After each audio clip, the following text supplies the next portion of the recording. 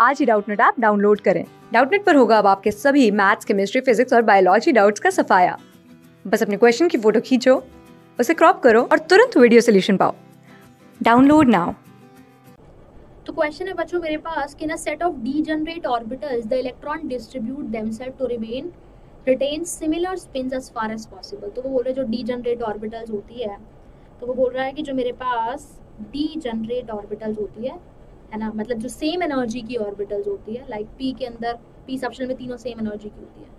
Electron जिस तरीके से पहले डिस्ट्रीब्यूट करते हैं कि उनकी स्पिन सेम रहे, फिर उसके बाद पेयरिंग हो तो ये कौन सा है? ये पॉलिक्लूजन प्रिंसिपल है।